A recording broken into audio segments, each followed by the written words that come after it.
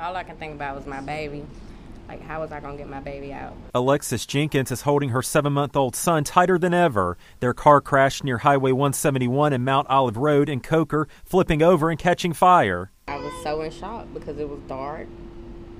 And I remember my baby was in the back seat finally, and I struggled to try to unhook him from behind my seat.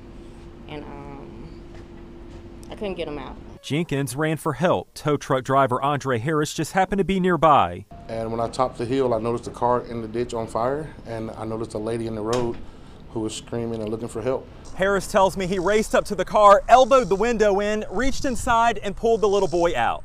It was a lot of smoke and everything, and um, you could feel the heat.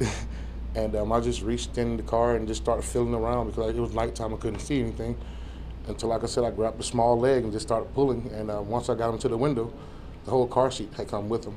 Once I got him to the window, I kind of snapped the car seat loose and scooped him up. Jenkins says the crash is a reminder of just how precious life is. She's not taking anything for granted these days. We're driving even slower now, too.